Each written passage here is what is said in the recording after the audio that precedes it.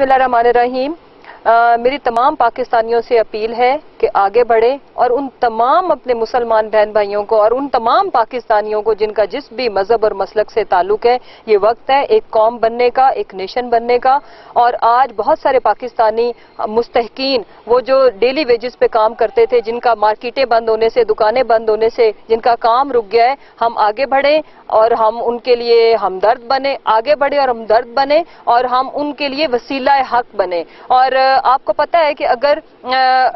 ایک مہینے بعد رمضان بھی شروع ہونے والا ہے، تو ہم کیوں نہ یہ زیوم کر لیں کہ آج ہی میرے لیے رمضان ہے اور آج ہی میں نے لوگوں کے لیے جتنی میری استطاعت ہے، جتنی مجھے اللہ نے طاقت دی ہے، استطاعت دی ہے اور حوصلہ کریں اور اپنے بچوں کی خاطر ہم ان کو گھروں میں بیٹھنے، اپنی جس جس ہماری کمیونٹی میں جو جو ہمارے گرد و نواح میں ایسے لوگ ہیں جو میری اور آپ کی ہیلپ سے اس موزی مر سے بچ سکتے ہیں، تو ہم ان کو گھروں میں بٹھائیں اور ان کو دو وقت کی روٹی کے لیے کچھ اس طرح کا ان کا سبب بنے۔ اور آپ یقین رکھیں کہ اس طرح اگر ہم قوم بن کے ابھرتے ہیں، تو ہم اپنے بہت سارے بہن بھائیوں کو موت کے منہ میں جانے سے بچا سکتے ہیں۔ تو ہم اس اس سال کا سلوگن یہ ہے کہ ہمارے لیے رمضان دو مہینوں کے لیے آیا ہے، ہم قربان قربانی دیں گے اور ہم اگر خود کم کھا کے اپنے کسی بہن بھائی کا پیٹ بھر سکتے ہیں تو وہ بھی کریں اور جن کو اللہ نے بہت دیا ہے وہ جتنے لوگوں کو روزگار جن کا بند ہوا ہے ان کو سپورٹ کر سکتے ہیں تو وہ کریں۔ اس دعا کے ساتھ کہ اللہ تعالیٰ جو لا الہ الا اللہ محمد رسول اللہ کے نام پہ ریاست بنی تھی،